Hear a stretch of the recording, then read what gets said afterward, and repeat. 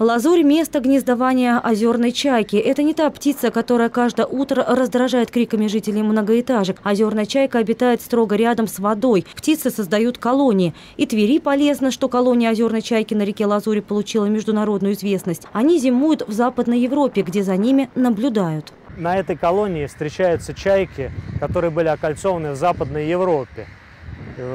И эти птицы прилетают к нам на гнездование, соответственно, весной конце марта, начале апреля и э, приступает к гнездованию. И с иностранными коллегами, которые окольцевали этих птиц, мы сотрудничаем, сообщаем им данные, какие окольцованные ими птицы прилетели на колонию.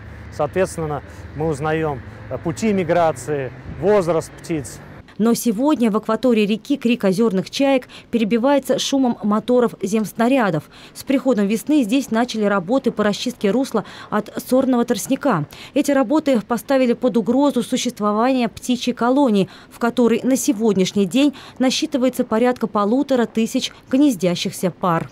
Ученые называют это место птичьим оазисом и неспроста. Вместе с чайками здесь гнездятся десятки других видов птиц, в том числе занесенных в Красную книгу.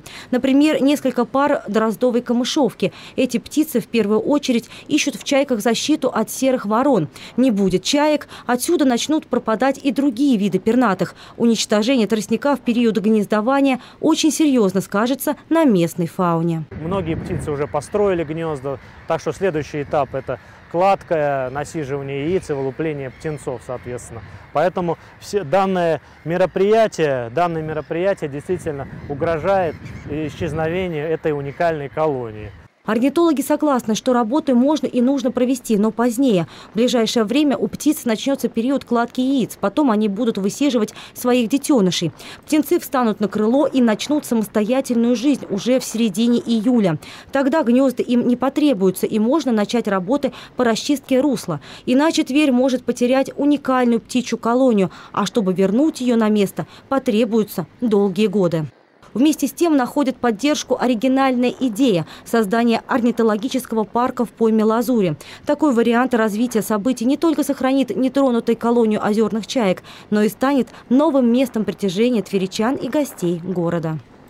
Просим сохранить это место и создать на нем природный орнитологический парк, который бы привлекал сюда жителей, э, детей, организовать э, э, таблички повесить, какие птицы обитают здесь, какие здесь бобр живет, андатра, какие растения можно увидеть постепенно, но не уничтожая это.